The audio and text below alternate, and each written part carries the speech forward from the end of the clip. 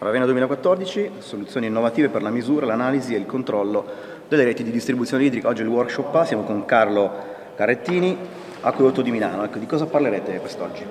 Parliamo di tutte le iniziative che abbiamo attivato negli ultimi 3 o 4 anni per rendere più efficiente la gestione dell'acquedotto, perché è vero che Milano ha molta acqua, ma eh, la gestione efficiente è un vantaggio per il servizio in termini di qualità per l'utente, ma anche in termini di costi gestionali. Quindi avere tanta acqua non vuol dire sprecarla, ma mirare a un miglioramento generale.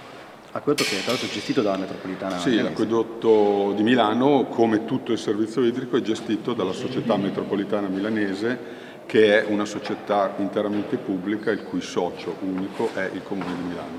Grazie a Carlo Carettini, buon lavoro. Grazie.